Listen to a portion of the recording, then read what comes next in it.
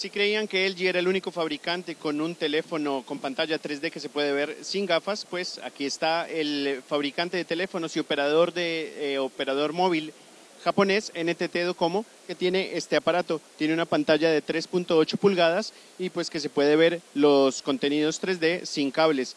Pero esta no es solo eh, esta no es la única atracción de NTT Docomo en este eh, Congreso Mundial de Móviles también, si ustedes se dan cuenta, un teléfono que se puede meter al agua y que aguanta pues eh, toda esta agua que le está cayendo desde este lugar. Pues es una de las novedades que tiene este fabricante japonés de teléfonos móviles aquí en el Congreso Mundial de Móviles en Barcelona.